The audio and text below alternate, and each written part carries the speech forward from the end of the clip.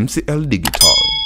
Naibu Waziri wa Nishati Subira Mgalu amesema utaratibu wa kuunganishiwa wananchi umeme kupitia mradi wa REA kwa bei ya shilingi elfu ishirini na saba sio la kisiasa na wahusika wote wanatakiwa kulitekeleza kama walivyoagizwa. Akizungumza na viongozi mbalimbali wa wilaya ya Handeni mkoani Tanga kwenye ziara yake ya siku moja kukagua maagizo aliyoyatoa mwanzoni mwa mwaka huu, amesema agizo hilo sio la kisiasa, hivyo meneja wa mikoa na wilaya wanatakiwa kuhakikisha wanalitekeleza ili wananchi wapate huduma. wananchi wajue, kwa sababu inawezekana watu wakaamini kwamba ni agizo tu la kisiasa, lakini sisi tunataka litekelezwe.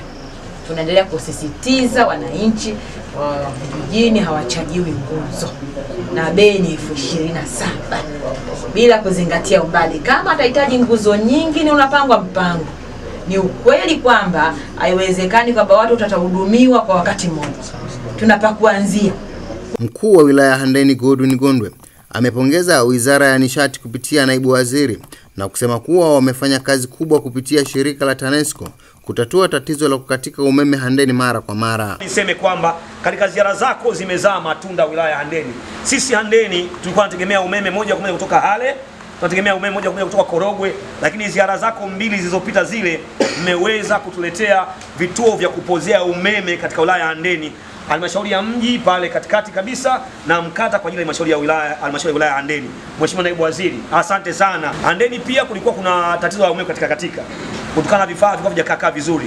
Naomba kwa nichukue nafasi hii kuwapongeza watendaji wa TANESCO katika mkoa wetu wa Tanga, wametusaidia sana, wameshapita kutekeleza agizo lako, kuangalia kwa nini umeme unakatika katika, na sasa vile vidudu vidogo vidogo vya kwamba umeme katika wake wenyewe vimeshafungwa. Aidha, mwenyekiti wa CCM wilaya Handeni Asmani Malunda amesema hizo ni juhudi za serikali ya awamu ya tano, hivyo wananchi waichangamkie, sio wanapelekewa umeme halafu hawaingizi kwenye nyumba zao. Ndugu zangu, umeme huu umekuja, ni fursa kwetu.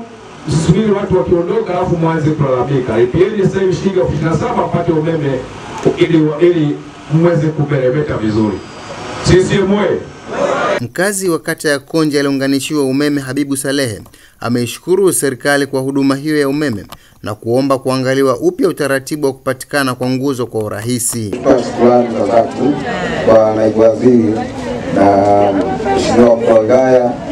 Tumepata umeme, tunashukuru. Pamoja wenzetu wengi hawajapata, lakini tunaomba kwamba umeme uje ili nao wasambaziwe, hasa hasa nguzo tunaziomba zije pamoja. Serikali imeshatenga hiyo fungu, tunatoa hamasa kwamba na sisi Mungu atujalie wengine wapate.